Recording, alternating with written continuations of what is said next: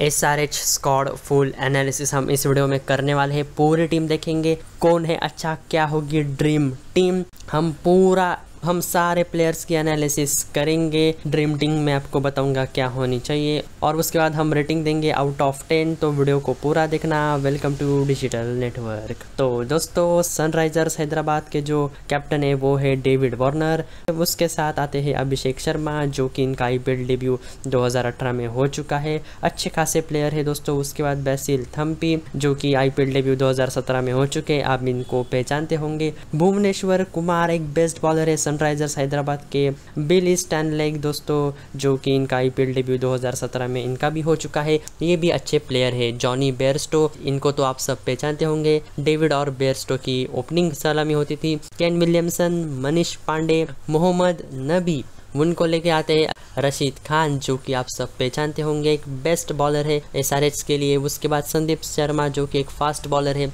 शहबाज नदीम। जी हाँ दोस्तों, शहबाज नदीम, जो कि 2011 में इनका आईपीएल डेब्यू हो चुका है। बहुत सालों से ये आईपीएल खेलते आ रहे हैं, एक अच्छे प्लेयर है। उसके बाद श्रीवत्स गोस्वामी, जो 2008 में इनका डेब्यू हो चुका है। बीच में कुछ सीज़न इनको चांस नहीं मिला। सिद्धार्थ कौल दोस्तों, ये भी एक अच्छे बॉलर है एसआरएच के लिए। खलील अहमद, बहुत बढ़िया और टी नटराजन, जो 2017 में डेब्यू हुआ था, लेकिन उसके बाद इनको ज़्यादा चांस नहीं मिला। विजय शंकर, जो कि आईसीसी क्रिकेट वर्ल्ड कप 2019 खेल चुके हैं वृद्धिमान साहा और उनको लेकर आगे आते हैं यंग प्लेयर विराट सिंह, जो कि इनका आईपीएल डेब्यू होने वाला है। प्रियम गर्ग, दोस्तों, ये भी एक अच्छे प्लेयर है, इनकी भी आईपीएल डेब्यू होने वाली है। मिचेल मार्च दोस्तों, इनको भी आप पहचानते होंगे, संदीप भवन का, और ये एक आईपीएल डेब्यू वाले प्लेयर है। फेबियन, एलेन, अब्दुल, समाद और अब्दुल समद की प्रोफ़ाइल देखें तो ये 19 ईयर्स के हैं दोस्तों और आखिर में आते हैं संजय यादव, इनका भी आईपीएल डेब्यू है।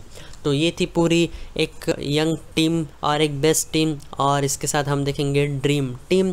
तो ड्रीम टीम की अगर हम बात करें तो Kane Williamson, David Warner, Manish Pandey, Priyam Garg. मुझे लगता है क्योंकि एक यंग प्लेयर को चांस देना चाहिए। उसके बाद ऑलराउंडर में आते हैं विजय शंकर, मोहम्मद नबी वृद्धिमान शाह विकेट कीपर होंगे। भुवनेश्वर कुमार और संदीप शर्मा का बॉलिंग अटैक रहेगा। रशीद खान उनको साथ देंगे और सिद्धार्थ कौल।